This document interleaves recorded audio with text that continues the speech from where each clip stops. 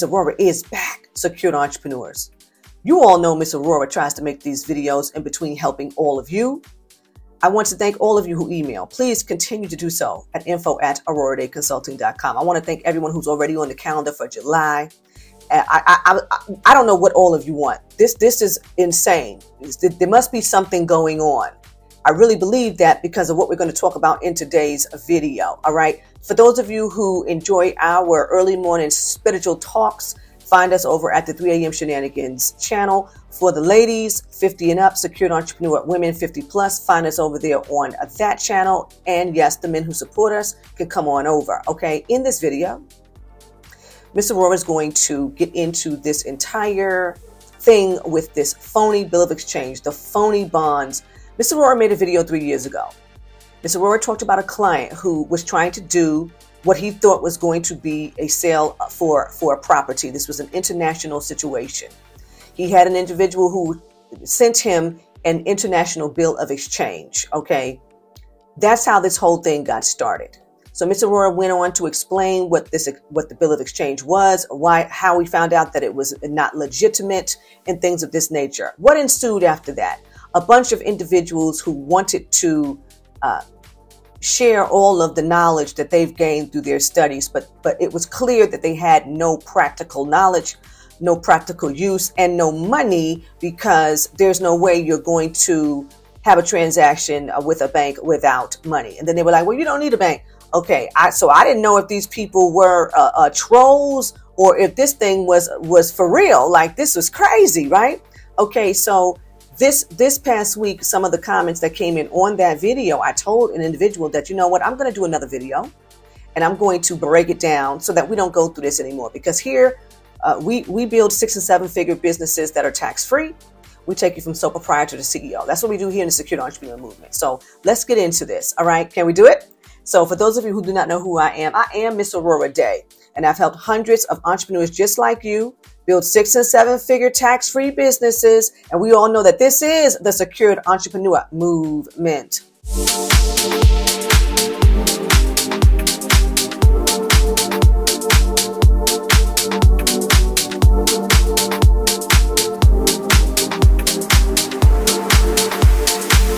All right, now, secured entrepreneurs. Here's Miss Aurorah three years ago in this video. I'm explaining to the secured entrepreneurs that our client Ryan likes to come out here and do all these real estate transactions. He found a property in London. He called about the property and found that it was not an agent or an agency. It was a person who stated that the property was for sale by owner. So his way of going about verifying that number one, that the property actually really existed, because we know that those scams are out here too, and he wasn't there to say whether it existed or not. Okay. Uh he's going through the motions with this man. Somehow, somehow or another, and I could not figure this out. He's asking the man to do something for him at his bank so that his bank would know that this transaction was going to happen He's go- they're going to do this closing. He was asking for some type of financial proof. I, I could not get that straight. What the man came back to him with was a bogus international bill of exchange. So when he receives this bill of exchange, he's he immediately emails us, okay, Miss Aurorah, what is this? Because I'm trying to verify that this man is a true bona fide owner of a property that actually exists. I asked him for some evidence from his bank, you know, uh, about the property, things like that. And this is what this man sends me. So now, of course, I'm baffled because I'm like, why would, if he's the seller, why would he be sending you a bill of exchange? Okay. I'm explaining to the secured entrepreneurs that this man who's selling a property gave my client an exchange, a bill of exchange where he's supposed to be selling property. Like the whole thing was insane. So now I have to look at this instrument because I'm like, this is this is bonkers, right? So when I see the the the instrument, true indeed, it is, it is a bogus international bill of exchange. Now let me explain to the secured entrepreneurs who have no idea what the heaven I'm talking about. The bill of exchange. It is a negotiable instrument, and you can, as a matter of fact, A check is a bill of exchange. A check is a form of a bill of exchange. A check is a draft, right? Okay, so check it out. There are three parties to this bill of exchange. The first party, let's say it's me, because I want to give the third party some monies, right? The second party is the financial institution to which I'm drawing on this negotiable instrument. Okay, so this negotiable instrument is drawn off of uh, Bank of New York Mellon. Okay, so I am writing on this instrument an amount of money to be paid to the third party, either today's date or predetermined date. That is the bill of exchange because we're about to have an exchange. I want to buy your property. All right. Now, this was international because this instrument that the person sent to Ryan is drawn on a bank that is not in the United States. So it's drawn on a bank that's not in the United States to be to be cashed at a financial institution in the United States. That that constitutes as an international bill of exchange. Okay. Now, what Ryan was trying to do was get his bank involved or get the seller's bank involved, okay? Because he needed to know whether this person owned the property, was the property legit. It, it, it was it was a mess what they were trying to uh, accomplish together. It was crazy. Okay, so I explained to the secured entrepreneurs that Ryan has just received a bogus international bill of exchange. And if you were to get an instrument like this for any transaction, this is what you need to be looking for because this is what we don't see on this bill of exchange. Okay. Now, let Ms. Aurorah pause this because I want to read to you some of the comments because that's why we're here today. And for and excuse the sun because the sun, you know, I'm in the middle of the day now, and uh, we're sitting in the sun. I like that. Okay, here we go. First comment Bills of exchange. Oh, look at this. Bills of exchange are drawn by a buyer, not the bank. All right, so part of that is false. I can go to the bank and get a cashier's check. I can go to the bank and get a negotiable instrument uh, uh, drawn from my account. I can get traveler's checks. Okay, remember, all we're talking about is a draft, a negotiable instrument. That that's three parties here. So if I decided that I wanted to go to the bank instead of writing a check and giving it to somebody, if they say I, I want a bank check. I want that check to come directly out of your account. This way I know that I'm gonna get the money because it's drawn it's it's a bank check. It's coming directly from the bank. How many of you have had to do that? You've done that, okay? The same way people say they want a money order. they want a money order. Why? Because you had to go and give the money to have that money order printed. So when they get that money order, they know, oh no, this is good. This this is right as rain. This is just like receiving cash because you gave cash for me to get this. Okay, that's a negotiable instrument, right? So part of that is wrong. Bill of exchange can have no bank. Well, we know that's wrong because I can't just hand you a blank piece of paper. We all know that people write bad checks, meaning I can write on this negotiable instrument. I could demand a certain amount of money on a certain date and give it to the third party right? The third party, if the third party doesn't go directly to this financial institution to find out ain't no money in this account, then they're gonna wait a day or two to find out it bounced. Okay? I can't make good on this piece of paper. Can't do it, right? So we know that's false. Bill of exchange must be presented to the bank of the seller for presentment, for acceptance or payment. Now, he had that right. That is correct. It would have been Ryan who would have had to uh who would have had to give the seller the negotiable instrument if if that's the way they were going to do it for the seller to take to his financial institution to uh to cash. Okay, so that that that would have had to happen. All right. Next, per the Uniform Commercial Code, UCC, Article 3, negotiable instruments, if you are a holder in due course, have filed a UCC 1 financing statement with the state, you can create your own bill of exchange. When the Treasury is involved, holder in due course doesn't have to involve a bank.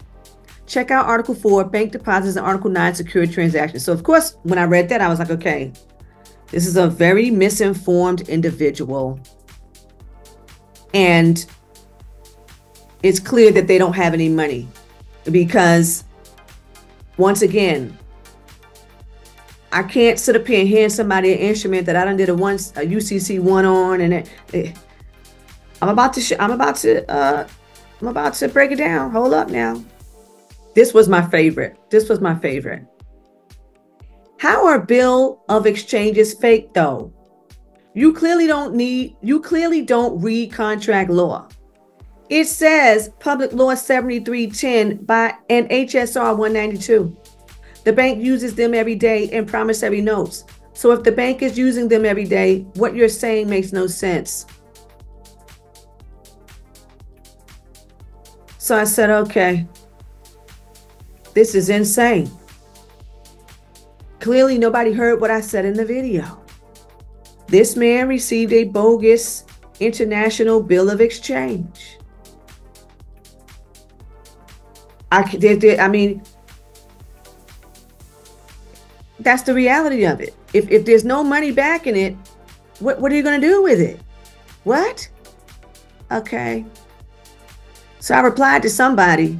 Oh, yeah. Okay. So this person says, you got to do more research because everyone is a bank. What does that have to do with this man receiving a bogus bill of exchange? So I said this was concerning a transaction with a financial institution so it is accurate information coming from practical experience. Anything else would be fraud and false. And then he says 12 USC 412 bill drafts, bankers' acceptance, or legal tender. LOL. I think you need to learn the law. So this one I bust up laughing. Okay. So I told one of these people that I was going to make this video because again, we don't we don't we don't advocate any of these things here in the Secured Entrepreneur Movement. So I'm going to take you to the Treasury Direct because, see, everything that they're telling you about this scheme, these people are saying it in the comments. So here we go.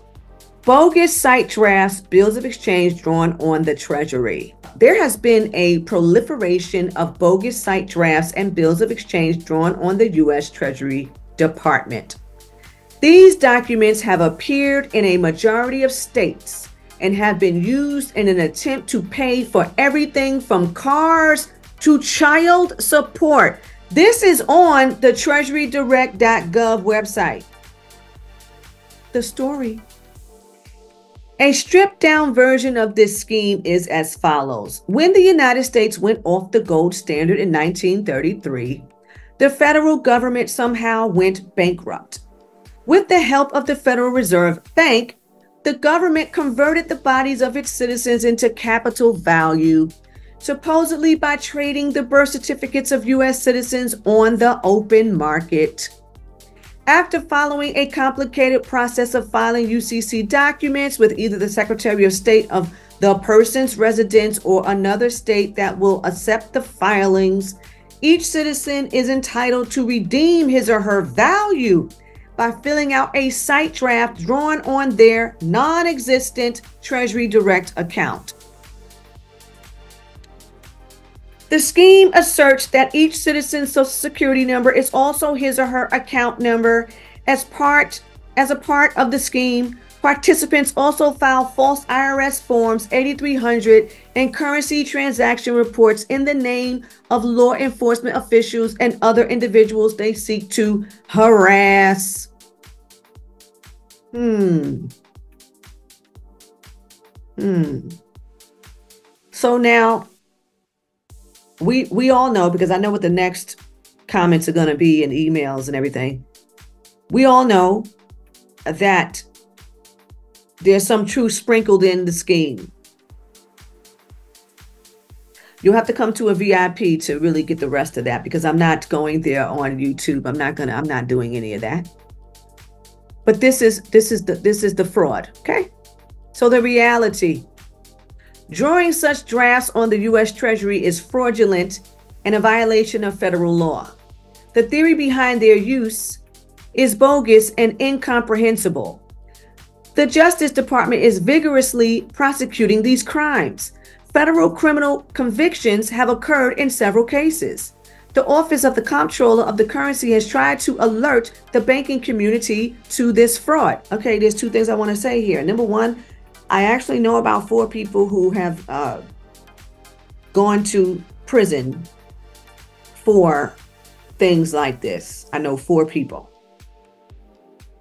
And they only went to prison simply because they were trying to give these bogus uh, instruments to financial institutions. And I think that in those cases, uh, they must have went too far because there's a lot of people who have tried to exchange these things with with entities and all of that and they never bothered them they just told them that we can't accept it uh, some some people, yes, the police were called on them, and then some people did have uh, charges filed against them, and they were prosecuted. I know four people who this has happened to, uh, but they were playing a very dangerous game. They were playing a very dangerous game, pushing the envelope, point blank. Okay. Uh, the second thing about that uh, that I wanted to say here is that many of you has sent in things to Miss Aurorah that you tried to do. And and you tried to open up accounts in places and they immediately told you no because they have alerted the financial community. So they are on the lookout as to how you write your name Thing, things that you're writing on instruments you know i mean some of the stuff has is so elaborate that even i have to laugh uh when you send it to me because I'm like, oh, this is a clear sign. Okay. Go ahead and send that to the financial institution and see how fast they they boot you out. And it does happen. They don't like it because they know that you you desire to commit fraud whether you are aware of it or not. It is fraudulent as far as they're concerned whether you are aware of it or not, okay? With early and vigorous prosecution by the Justice Department on bogus sight draft cases, we have begun to see bills of exchange taking their place. This change occurred on or around January 2001. All these bills of exchange drawn on the U.S. Treasury are worthless. All the same issues and background materials applicable to sight drafts also apply to bills of exchange. This is the same fraud under another name. Okay, so what are we talking about here, right? Let's let's go on to the to the the birth certificate bond. Several internet blogs and videos make false claims that a United States birth certificate is a negotiable instrument, a document that promises payment that can be used to. Okay, let me back this up. I just told you all what a negotiable instrument is, right? Why would you make the claim that the birth certificate is a negotiable instrument? You cannot write on it a specific amount of money paid to a specific person or entity on a specific date. You cannot do that. So, all right. Used to make purchases that will be charged to a exemption account, perhaps identified by your social security number or EIN or request savings bonds held by the government in your name and owed to you. The truth is, birth certificates cannot be used for purchases, nor can they be used to request savings bonds purportedly held by the government. Also, the exemption account is a false term. These accounts are fictitious and do not exist in the Treasury system. This is what they're saying. The story this story is a variation of the older bogus sight drafts bills of exchange drawn on the Treasury scam.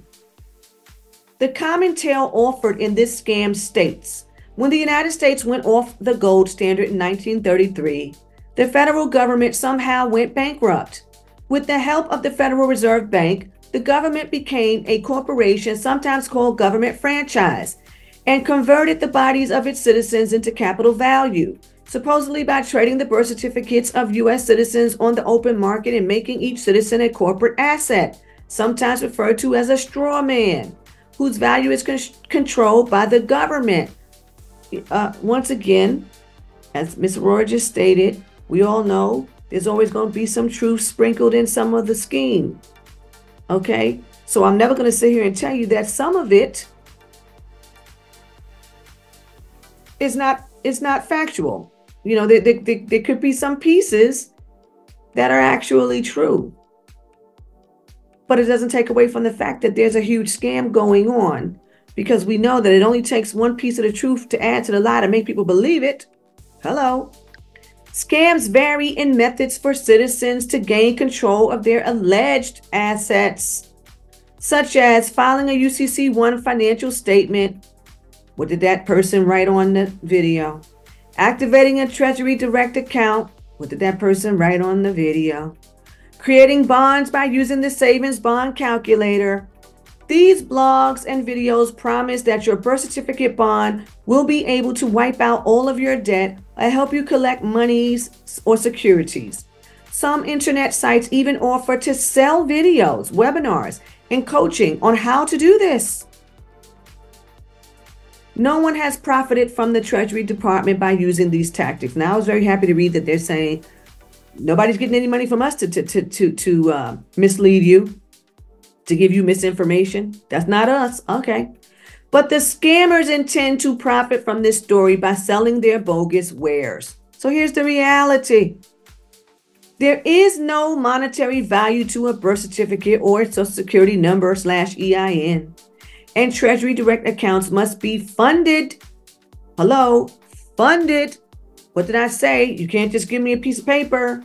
Can't just write me a negotiable in- instrument. How is it being funded, people? Hello? All right. Funded by the owner through payroll deductions or from purchasing directly from the owner's personal bank account to have any value. The savings bond calculator is merely a tool to calculate the value of a bond based on an issue date and denomination entered. This information could be the issue date, and denomination from a real bond, or it could just be a random choice of a date and denomination. The calculator only checks that the issue date and denomination entered are a valid combination. It will not verify whether a bond exists. The calculator will not verify the validity of a serial number or confirm bond ownership. Please be advised that trying to defraud the government by claiming rights to bogus securities is a violation of federal law, and the Justice Department can and has prosecuted these crimes. Federal criminal convictions have occurred in several cases. The scam artists who post blogs and videos are trying to defraud you into buying their fake product. Do not fall victim to their schemes. Once again, secured entrepreneurs. It's Aurorah does not make these videos to cater towards any of these things because it is harmful it is harmful to people and and once again as i stated i know personally several people who have spent their last dime trying to get a remedy because they don't have enough money to care for what is ailing them financially so they get talked into doing all of this studying. Look at this coat. Look at this coat. Look at this coat. Put that together. Put this together. Do this, do that. And and in all of it, don't you notice that all it's doing is costing you more money to file this, file that, mail this, mail that. Okay? What have you gotten in return? No thing. All right. So there you have it. There, there's your answer for everybody who commented and who continues to comment on that video. Okay. The reality is the client received a bogus international bill of exchange, no matter how he came about getting it or why the man sent it to him. The bottom line was the man was trying to scam, sell, uh, sell a home that didn't even belong to him. okay, and then he brings in this phony negotiable instrument. It was insane. So that's why I told the secured entrepreneurs to beware of it. That's what that was about. There you have it, secured entrepreneurs. Look, the sun is really in here today. I might get a suntan for the first time in my life today. okay. But anyway, you heard it. Okay. That is, that is the whole thing behind this phony bond and phony bill of exchange situation from the Treasury Direct.gov